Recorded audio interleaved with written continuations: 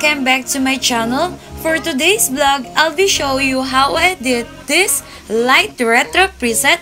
Also, check my community tab for incoming preset and announcement. And follow me on Instagram account zieeyu for incoming preset on my IG story. So let's get started for the light retro preset.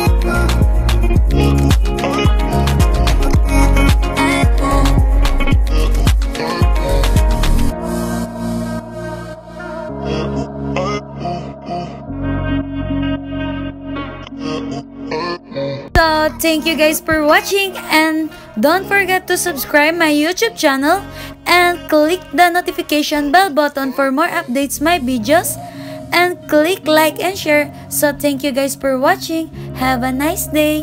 Bye!